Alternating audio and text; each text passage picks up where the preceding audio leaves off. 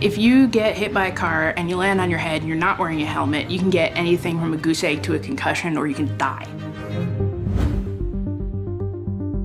I'm Isis Shiffer. I'm an industrial designer. I run a consultancy called Spitfire Industry. She's really motivated by seeing opportunities to make things better. Traditional bike helmets are quite expensive. They don't biodegrade and they don't recycle. They just sit for 10,000 years. And they're big, they're bulky, you don't want to carry them around. So trying to hit all of those three problems was sort of the starting goal. Because once you have the problem, then you know what to do. Eco Helmet is a recyclable foldable bike helmet uh, specifically directed at bike share users. What makes the helmet work is that the honeycomb pattern addresses the head perpendicular from all angles, so it will absorb a blow no matter where it comes from. Eco Helmet hits a lot of things that I love, which is bikes, sustainability, weird materials, and functionality. I'm really big into cycling and I think bike share is really great. But I do see a lot of people being scared to ride. Having easy access to bikes is great, but not having easy access to helmets seemed like a big gap. This is the most important part to me. I think that cities are best experienced either on foot or on a bike. She was great at attacking, coming up with a solution, and then being able to back up and say, not quite, and then try it again and again and again until it gets to where it needs to be.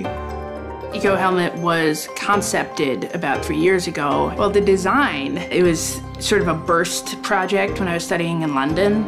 It takes enormous commitment. Everybody thinks that it just dumps out of your head, finished. And it, I don't think it's happened for anybody that way. The hand prototypes that I made were probably like mm, six to eight different iterations before I nailed something that I thought was worthwhile. The factory iterations is maybe another dozen. And I was able to crash test it and get a sense that the material was sound. Since then, it's been trying to figure out how to make it in a sustainable manner that isn't ridiculously expensive and also works. The James Dyson Award is the design award that everybody wants to win. Everybody enters it. That and this one's no strings, it's just solve a problem and show it to us, which is really nice. It is an amazing platform. I'd say maybe more of a catapult. It recognizes your idea. Getting the recognition from this award opened a lot of doors for me. It promotes your idea. Let me get an office, let me hire people, let me take this a little bit more seriously. Because then your phone starts ringing. But it's always amazing to think that somebody else sees what at that time was a student product. It was developed but not finished and thinks that it's worthwhile and that was very, very validating. I, I want to make things that a, make the world more beautiful, and B, solve actual problems. And it is important too to step back and just be like, wow, I'm making things that go into the world and give people pleasure or health benefits or ease of life. And that's a nice feeling, and, and being able to sort of keep on top of that is important.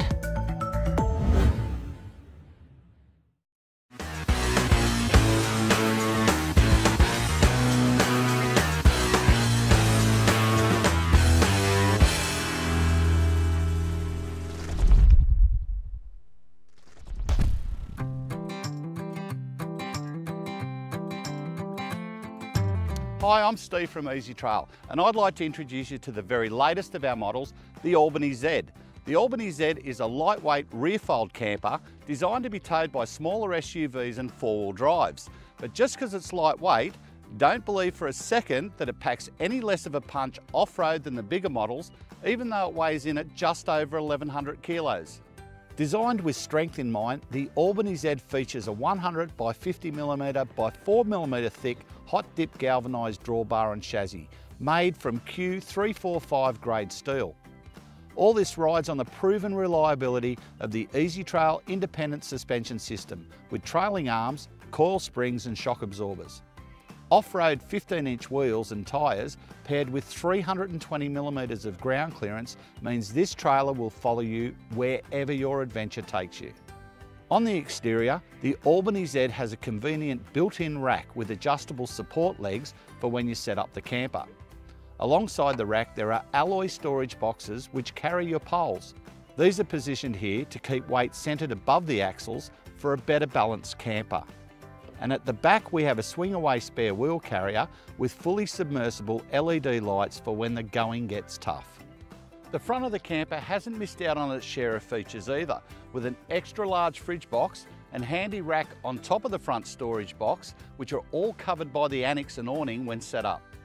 The Albany Z has the proven off-road polyblock hitch, an Anderson plug connection for charging the 100 amp hour battery while you drive, and a hand winch that makes opening and closing the camper a breeze. One of the great things about this camper is how easy it is to set up. It can be done in next to no time with just one person. However, as always, it helps to have another person to give you a hand.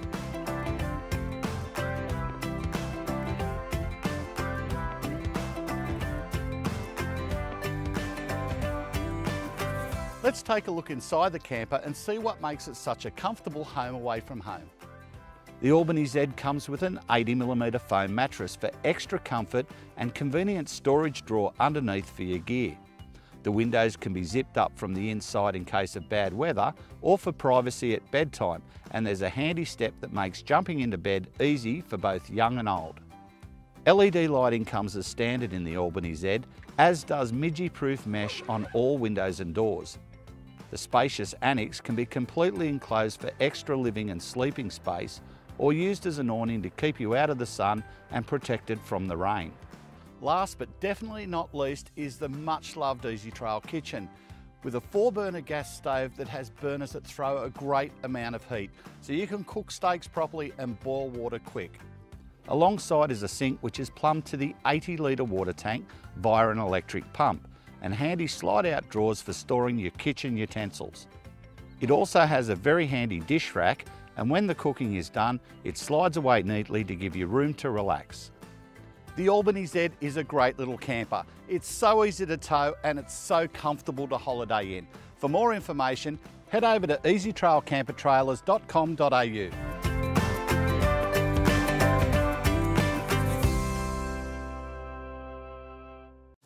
Today, we talk to Roland, who shows us his folding catamaran dinghy, the Aquanaut. Man, I got a big dinghy.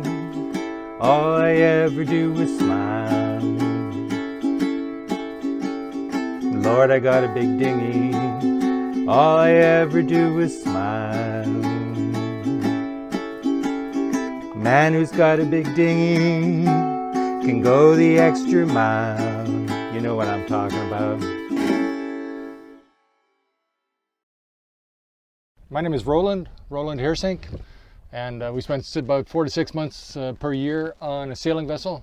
We have a 40 foot sailboat and uh, we basically cruise up and down the coast and Florida and Bahamas with uh, Turks and Caicos, maybe Dominican on the schedule for next year. Cool. So uh, you're a Voyager then? I guess you could call me a, a wannabe Voyager or an almost Voyager, yes sir. you have a very interesting dinghy. Let's start out with how people can find information about it.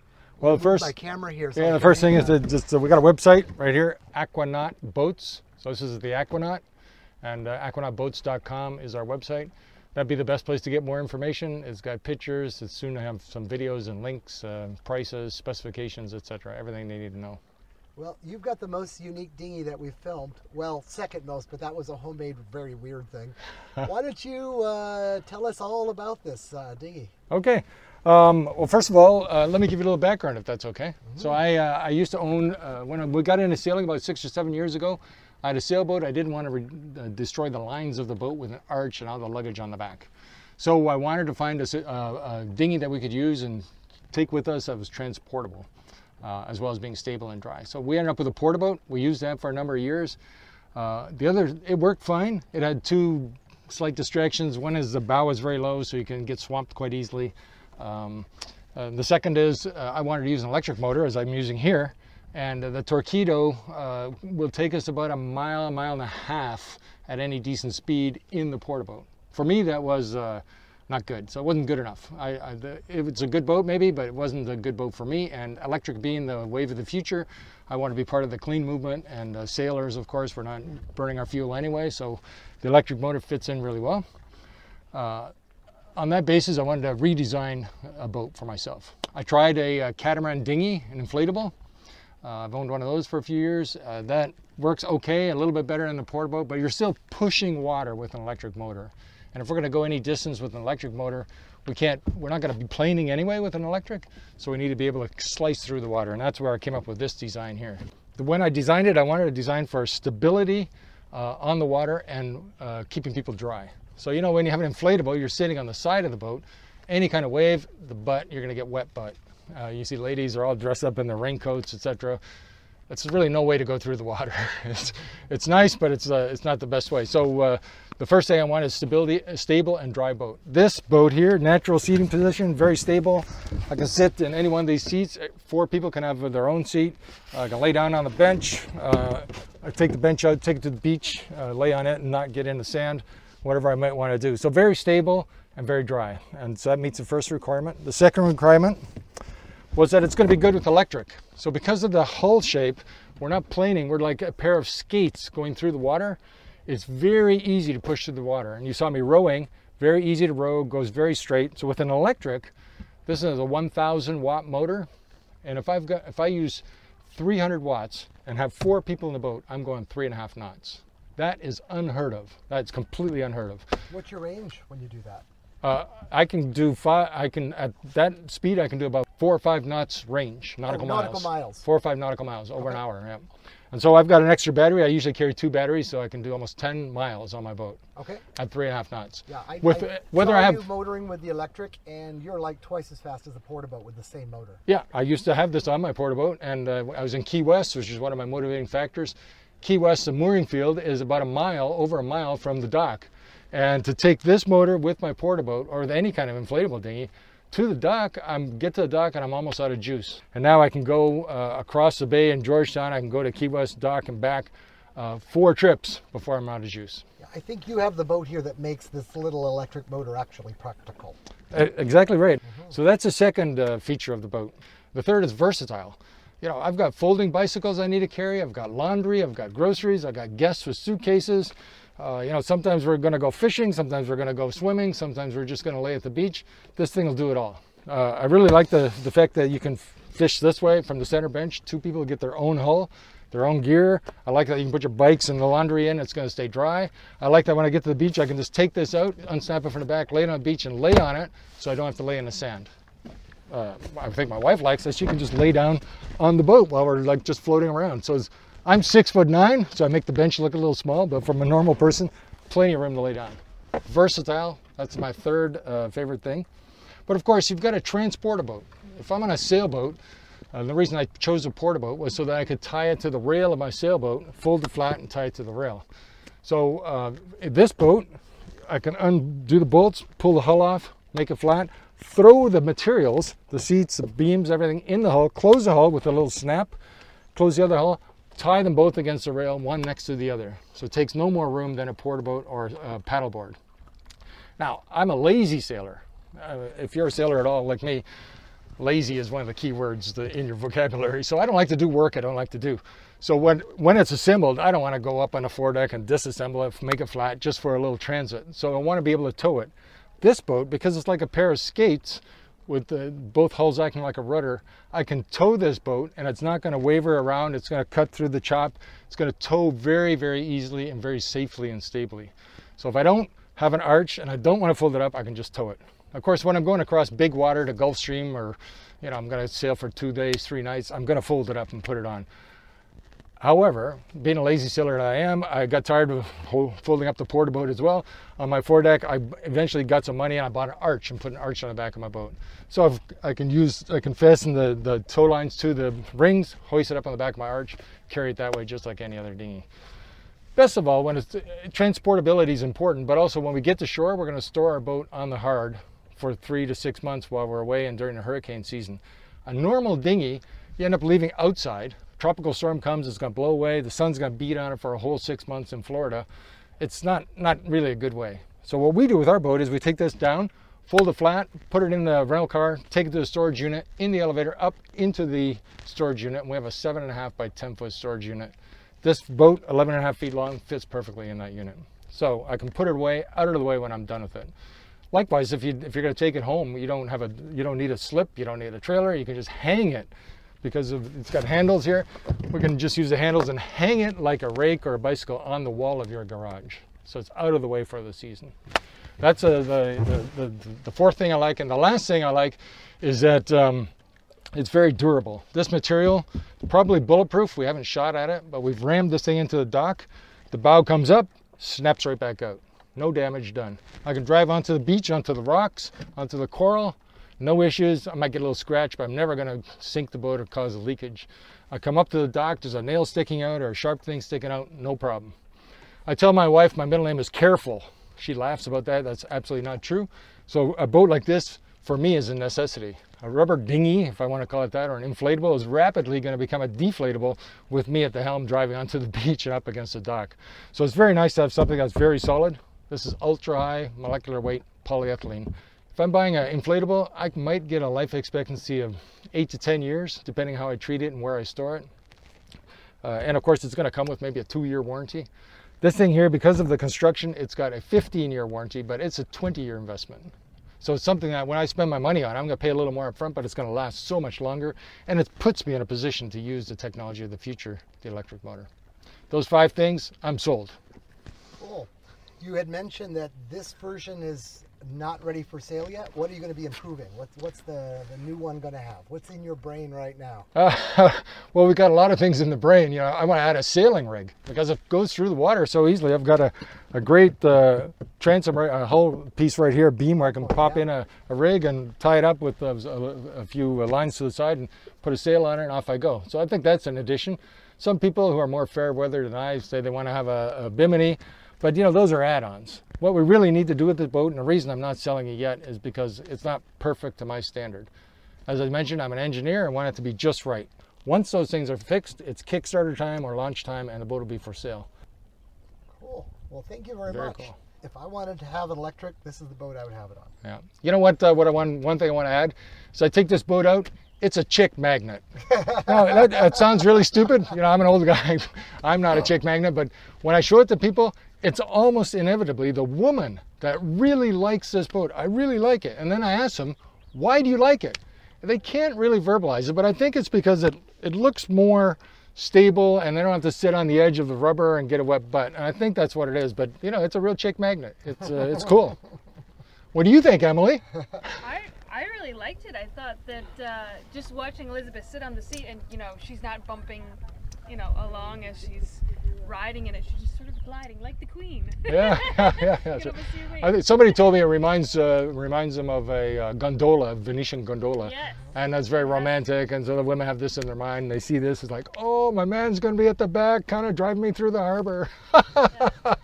It was very easy to get in and out of too. It felt very stable and like very much like a gondola, just yeah. kind of straight.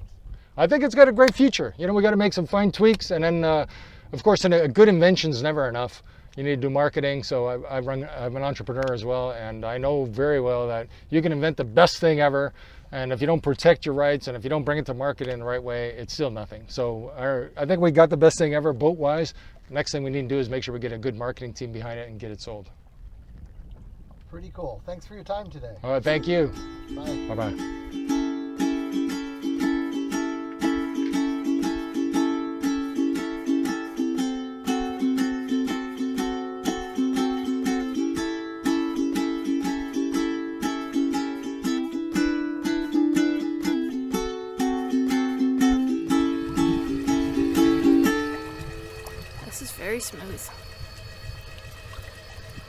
It's like canoeing without having to paddle.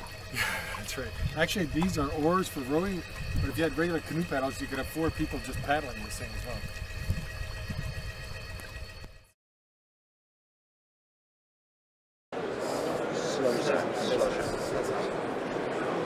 I'm here to interview Tamas Slezak of Moveo in the hope that he'll let me have a free one of his sports cars, which are over there. I don't think I'm going to succeed, but actually, jokes aside, this is a very exciting company involved in a whole range of electric vehicles, and I want to hear the story. So please tell us uh, what is unique about them and what is your plan for uh, rolling out your business? Yes. So uh, we have developed uh, a foldable electric scooter, which is which has the name Moveo. Yes. And it's uh, it, it, has, it is made from carbon composite uh, lightweight body. Yes, yes. And uh, it's foldable, as you say, which is un- very unusual. You said that in your talk that I he- heard. Yes. That's right. So it's a it's a full full size moped. It's Yes. a, it's a full size uh, motorcycle, which uh, which is addition which has the additional value to be foldable. So Yes, when you need, yes, you can yes. put in your in the trunk of your car, or you Yes. can put uh, in a yacht or a Yes. motorhome. That's. Uh, But, you should said I- in your I talk, you said yes, please. You said in your talk that you don't think people fold it often, uh, so it's a secondary benefit. But you have designed now a, a full-scale, proper scooter. should Is- I drive it Yes, absolutely. Yeah, absolutely. Yeah, run over a few people. There you go.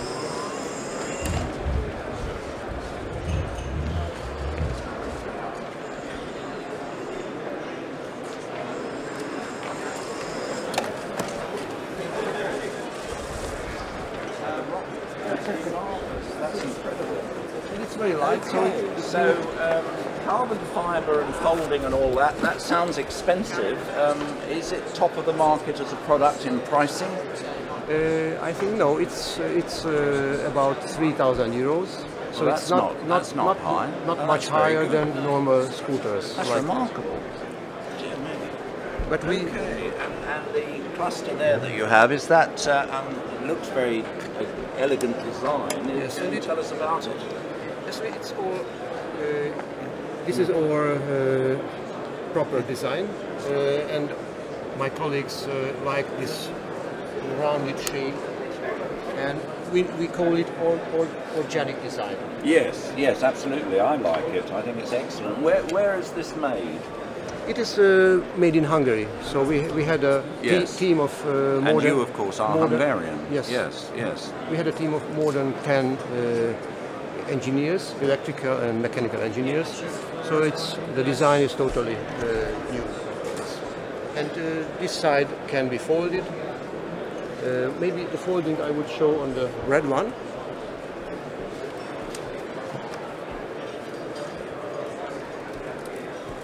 So you have to take it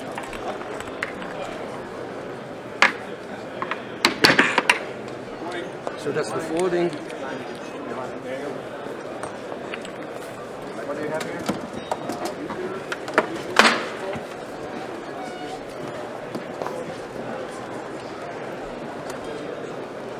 Ah, wonderful. Very neat. And we can put uh, this this side for storage, yes. Yeah. store. Yeah. It's one minute about.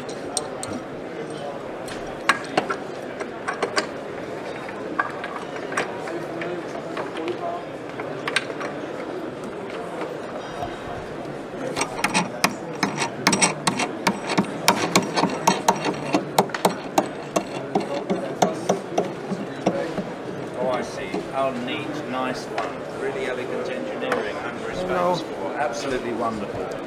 This is just pull out. It comes in a variety of colours, I guess, does it? Really, because it is obviously you have white and red here. It's not the main fuel Yeah. And in this way, it's, it's half the weight. It's half size of Yeah, yeah, to excellent, store on your. excellent. Yes. Have you actually sold any? No, Too just, early. Just uh, just the prototypes. Have it here for the first time. And um, And we are looking for investors to begin production. Absolutely. When you get the investors, I'm sure you will, with a product as superb as that, you um, would dream of selling a hundred a year, a thousand a year. What what magnitude, uh, roughly? I mean, So we we are looking for an investment of 2.5 million euros, Right. which would be- be enough to produce 5,000 pieces per year. right, and the, the market would obviously stand that. I mean, Europe as a whole is Yes. taking uh, So that's for Europe. two wheelers. It's taking what one and a half million now, maybe. Okay, can we move on to this car, which you're not going to give me?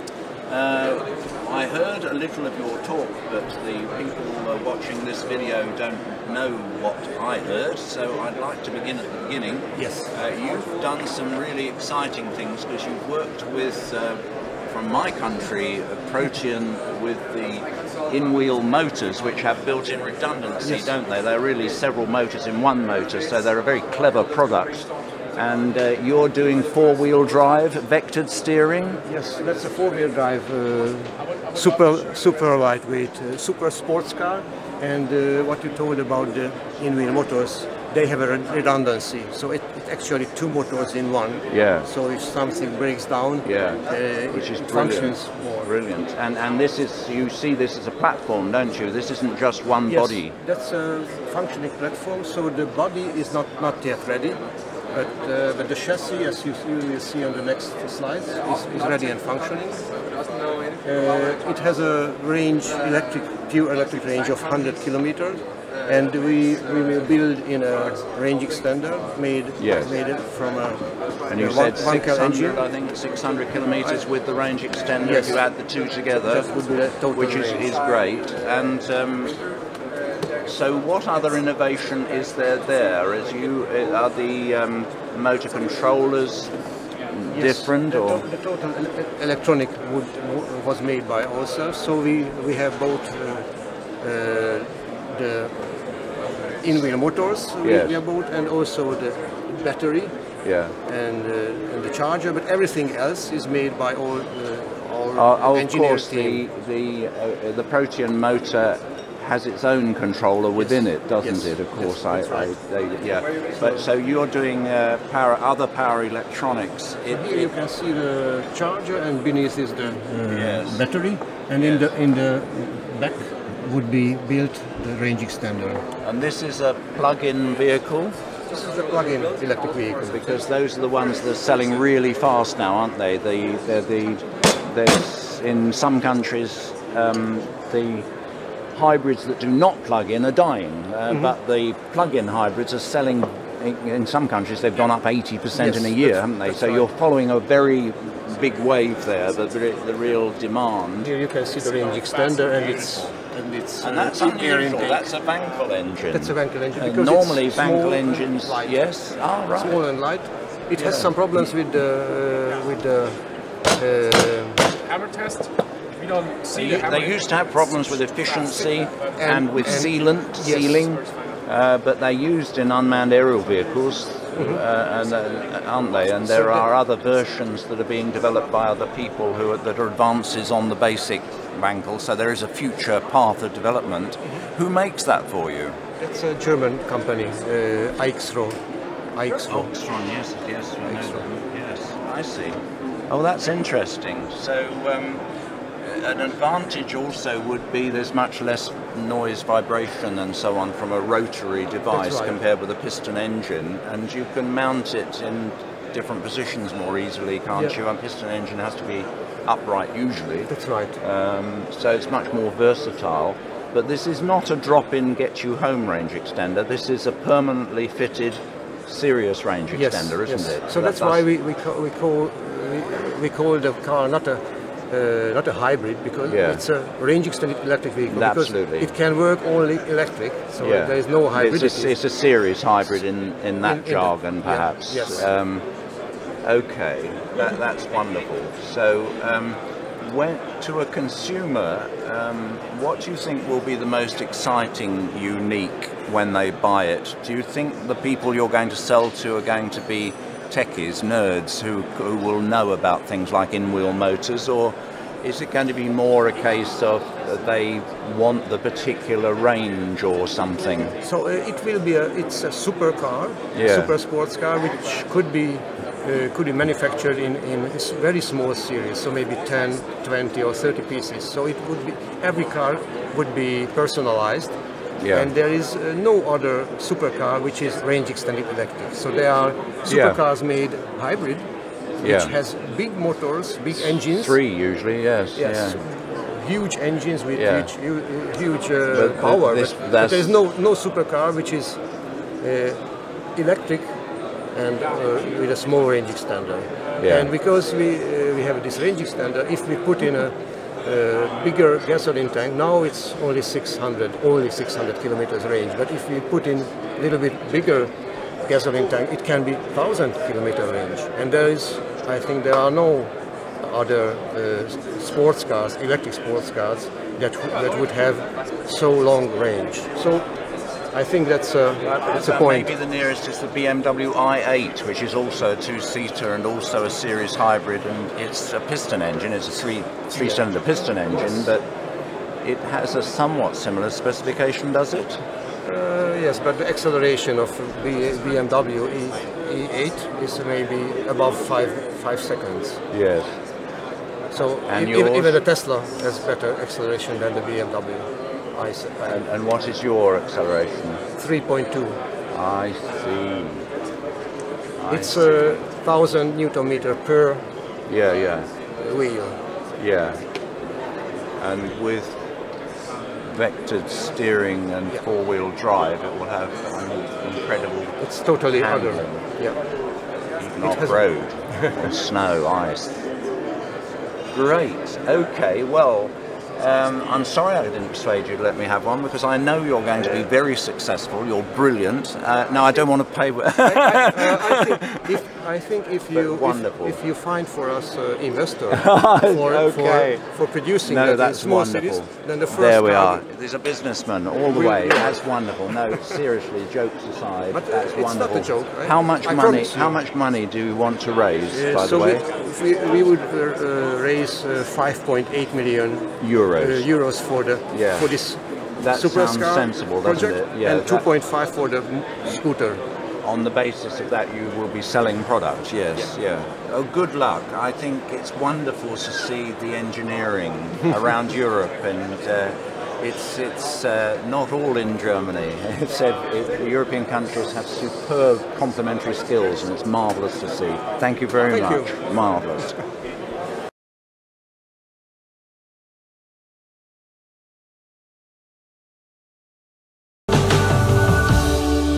Range Rover Evoque convertible's acoustic insulated roof utilizes a Fabric Z folding system.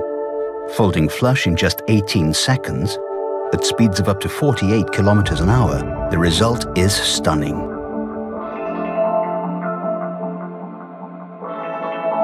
The vehicle features a rollover protection system.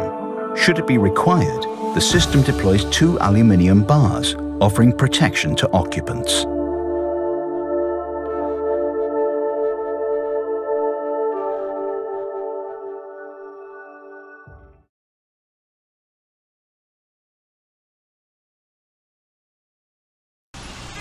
For most people, urban traffic means daily stop and go, no parking places, long walks, waiting for the bus. That's not my thing. I always want to be faster than others and nearly independent from traffic.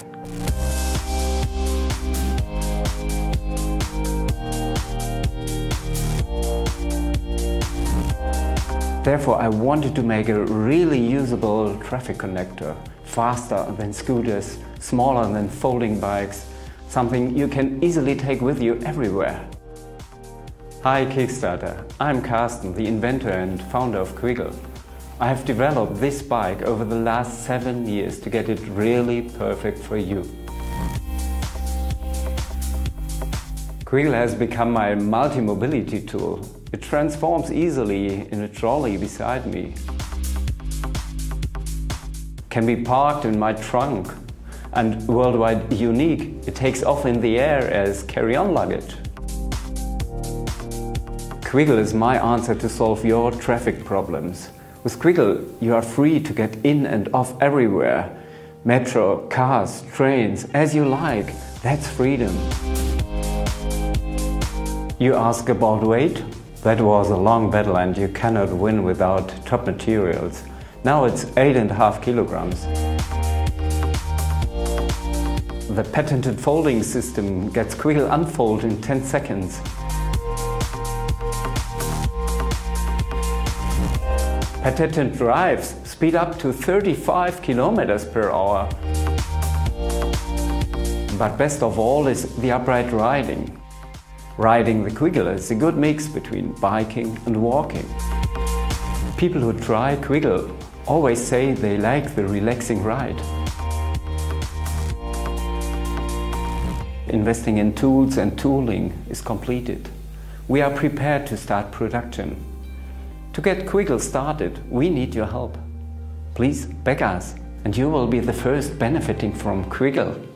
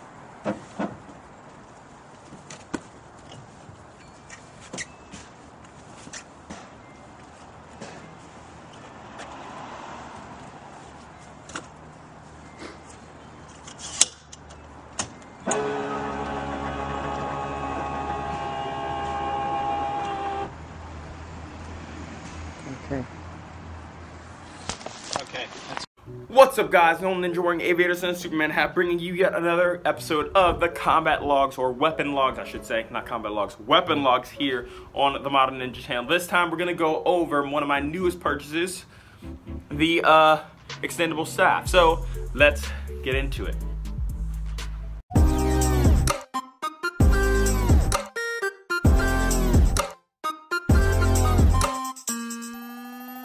All right, so uh, the extendable staff is actually really cool. There's a couple good benefits to it, a couple good negatives to it, and I'm gonna go over both. But first, I, I want to show you how to open this. Now, this is kind of dangerous because it's uh, made of thin metal, and so when it shoots out, it's kind of sharp. But something you're gonna realize is there's two parts to this. There's the knob right here. This is basically the button you push to unlock it and the pin here on a spring right there. Now, I'm gonna show the camera just like that. Now there's a spring and a pin. Now that pin has to be pulled in order for you to pull it out. But you don't pull it like a grenade, you don't pull the pin.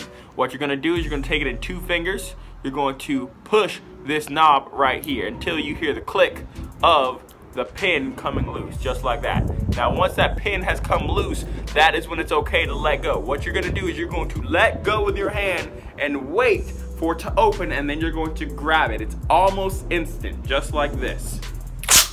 Just like that.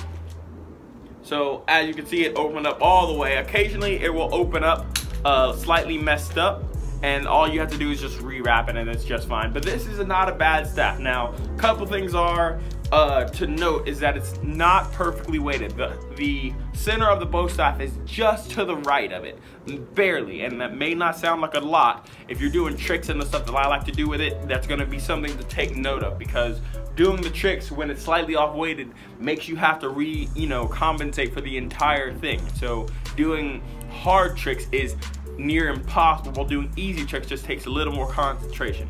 So that is something to uh, keep in mind. Now, how to close it. A lot of people don't realize how to close it. So all you're gonna do, you're gonna take your hand at the top where the uh, rotate is and you're going to twist your right hand underneath it.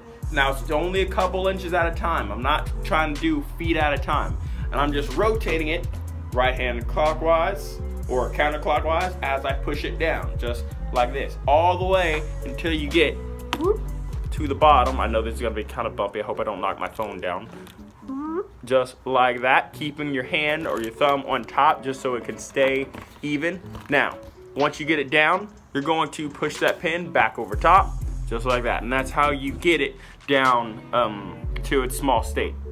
And again, you might have some, you know, it be set off. You can just push it together. And again, make sure you're safe with it because it will cut you if you're not careful because it's it's a thin metal it's a thin metal um, sheet so it will cut you. That is the biggest thing you want to keep beware of. But other than that it's a really cool um, toy. It's a really cool weapon. I don't want to call it a weapon because it's not going to actually help you in a fight. It bends and breaks too easily.